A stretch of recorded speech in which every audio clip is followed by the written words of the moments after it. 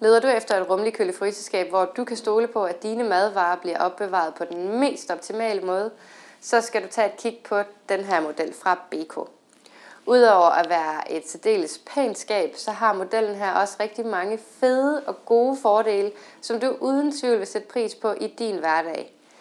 Skabet er udstyret med et lækkert LED-lys, som giver dig et rigtig godt overblik over dine varer, og LED-lys afgiver heller ingen varme. Modellen her har en rummelig og overskuelig indretning. Du får fire hylder i køledelen, som du kan flytte rundt på. Nederst i køledelen der får du en skuffe, som er en almindelig grøntsagsskuffe.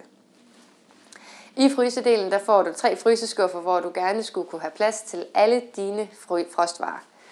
Nogle gange så kan der opstå bakterier i køleskabet, men det har Beko faktisk taget højde for. For vi ved vist alle, at dørtætninger som regel er rigtig svære at rengøre og giver ideel grobund for spredning af bakterier. Men ved hjælp af tilsætning af antibakterielle tilsætningsstoffer i øh, materialet, i dørpakningen, så dannes der en øh, barriere øh, for bakterier, og køleindretningen er derfor fuldstændig ren.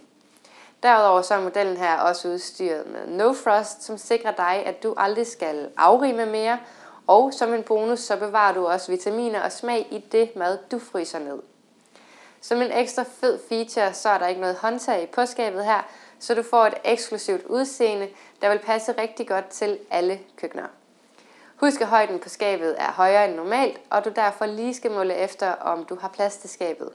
Og har du nogle spørgsmål, så sidder vi naturligvis klar til at hjælpe dig ved telefonen.